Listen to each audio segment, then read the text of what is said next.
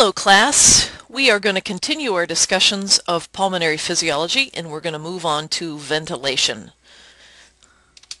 This includes discussions about um, what the basic volumes and capacities of the lungs are, what are their relative sizes, and how you measure them with a simple spirometer, and which ones you can't measure with a simple spirometer, um, and that sort of thing. We're going to talk about um, minute ventilation, alveolar ventilation, and dead space, and how dead space ventilation is um, calculated. Uh, we're going to talk about the function of dead space, um, and it can be measured with Fowler's method or the Bohr equation, and we want to talk about the difference between those two. And then another clinically important measure is the functional residual capacity, um, and why you would measure FRC as opposed to the residual um, function. Alrighty, so this is a, uh, a spirograph or um, uh, a reading of volumes and capacities with a simple spirometer. So we see tidal volume as a normal breath, in and out, in and out, in and out. If we breathe in, and exhale as much as we can. We've exhaled our expiratory capacity. So that's our tidal volume and our expiratory reserve volume. If we breathe back up um, to tidal volume, exhale a tidal volume, inhale, exhale, and we breathe all the way up. Now we've in, we've introduced our inspiratory capacity, which is made of the tidal volume and the inspiratory reserve volume. We exhale down, there's a place uh, where we, a very repeat, uh, repeatable place we come back to um, where the recoil forces of the chest wall and the expansion, I think I just said that backwards, where the expansion of the chest wall and the recoil forces of the lungs exactly balance. We take a breath, Take a breath, breathe all the way up, and then all the way down. And we get down to where we can't blow any more air. What we've just breathed in and out is our vital capacity. That's the total amount of air you can move in and out of the lungs. Uh, we breathe in, we exhale normally. What's left in the lungs is the functional residual capacity. So if we exhale a normal breath, what's left is functional residual capacity, but if we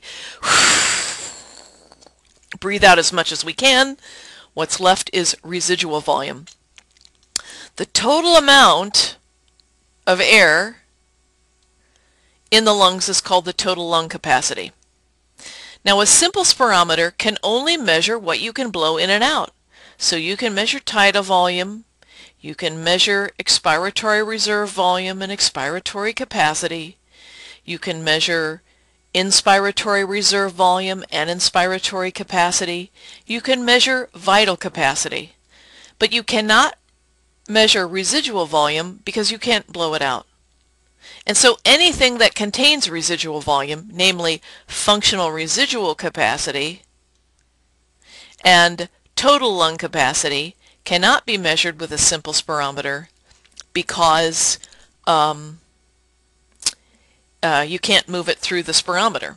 So functional residual capacity tends to be measured more than residual volume just because this is a natural resting place where the recoil of the lungs, the expansion of the chest balance. So this makes this a much more repeatable measure. You really have to coach somebody to get down to the residual volume. So we tend to measure residual, I'm sorry, functional residual capacity rather than residual volume. We use that with something called helium dilution and I believe I will talk about that in a subsequent presentation.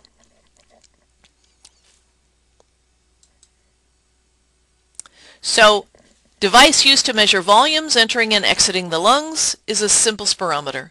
You cannot measure volumes containing a residual volume, therefore residual volume, functional residual capacity, and total lung capacity require an indirect method like helium dilution or body plethysmograph, and I will talk about that under lung function tests.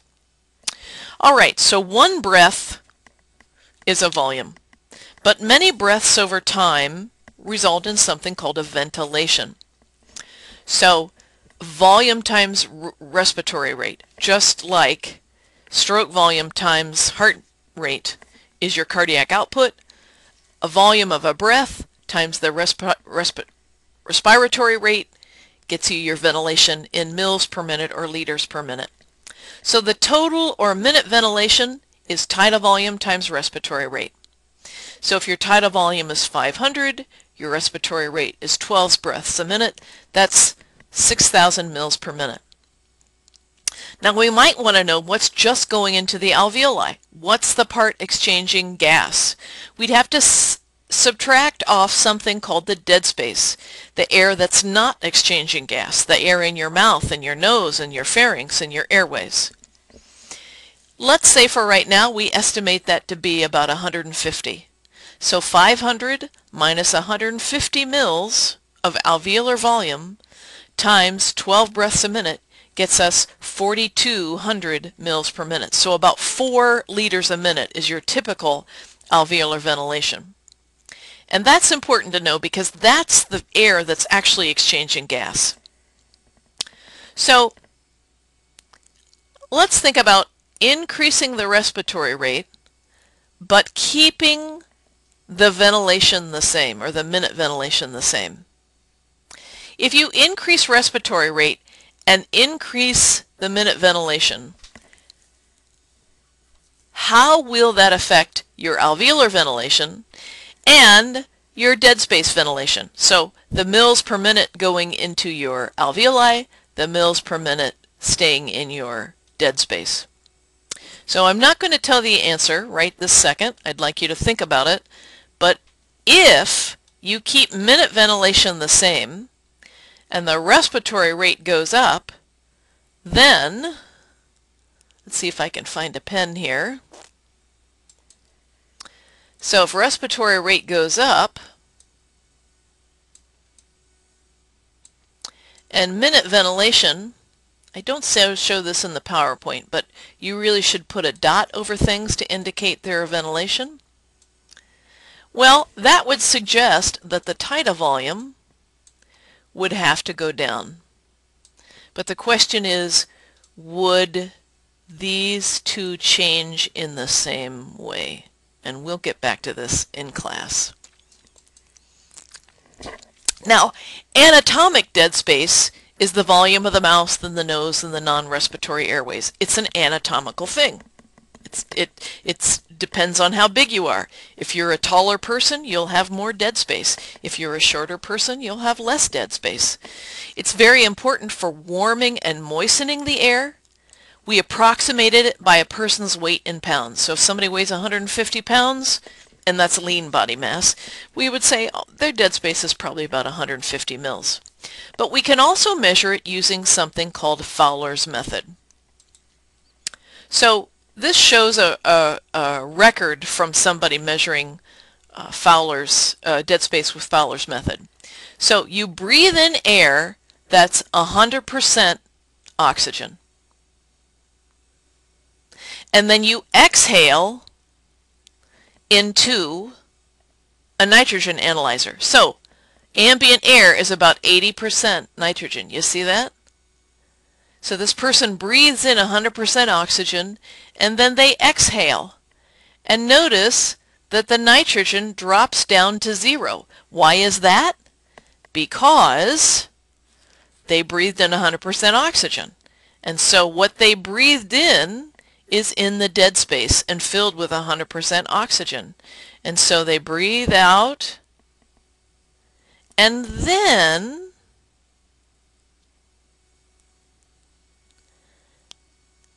nitrogen starts to go up. And it goes up and it goes up and it goes up and it's up and up and up and up and then it levels off and then at the end it goes up again. So we're interested in this part right here. I'm going to try to drop down a line. And we use a little geometry and we assume that this area right here is equal to this area right here And so we can take this little triangle right here and measure the volume of that and get the dead space volume. What's the basis of that? Well, if you inhale 100% oxygen, your dead space is filled with 100% oxygen. As you start to exhale some nitrogen, that, that shows us we're starting to see air from the alveoli. And then when it levels off, then we're getting all air from the alveoli. There's no dead space air in here. So we we could um, do a integral of this curve, but instead of doing calculus, we're going to do geometry, and you this area goes over here, and you, now you have a little nice little rectangle, which is easy to take the area of. Now what's this over here? You have airways terminal airways that don't have cartilage. And at, at the end of the breath, those airways start to collapse. And as they do, the nitrogen goes up a little bit. So you can also use this method to say, when do people's airways start to close? And then they get to a point where, you know, they can't get out any more air. But Fowler's method tells us about the anatomy of someone's lungs. So physiologic dead space, which is the air that doesn't exchange gas, is normally equal to anatomic dead space, which is the mouth, the nose, the airways. However, with disease, some alveoli can convert to dead space. So in that case, physiologic dead space would be greater than anatomical dead space. So we can measure physiologic dead space, how much air is, or how much of the alveoli is um, not exchanging gas using something called the Bohr equation. So anatomic dead space plus alveolar dead space, which we'd get from the Bohr equation, would tell us our physiologic dead space. So the Bohr equation is used to quantify the ratio of physiologic dead space to the tidal, total tidal volume and gives an indication of wasted ventilation. And in this particular permutation, we're actually seeing the alveolar dead space. And this is arterial CO2, this is end-tidal CO2, and arterial CO2. So you take this ratio, and it gives you the ratio of alveolar dead space to tidal volume. Uh, so if arterial PCO2 is 42 millimeters of mercury, and your end tidal PCO2 is, oh darn it, I have a typo, I am so sorry, is zero, please make a note and I'll have to fix the presentation. And if your end tidal PCO2 is 40 and your tidal volume is 500, we, we, we um, plug those in, so X over 500 equals 42 minus 40 divided by 42. X is about 24 mils. So if we have alveoli that are not exchanging gas, then less CO2 can escape via exhalation. So if your anatomic dead space is 150 and about 24 mils of the alveoli, um, are not exchanging, then our physiologic dead space is 174 mils. I'm not co so concerned about you calculating this. Here's what I want you to think about. If the measurement of dead space with the Bohr equation is greater than that measured by Fowler's method, what does that tell you? That tells you you have disease. It tells you that some of your alveoli are not exchanging gas and have become part of the dead space and that's the value of that comparison. So I'm going to stop it here. Uh, in our next presentation we're going to talk about how ventilation influences blood gases, the partial pressure of oxygen and CO2. Um, so I'll see you next time.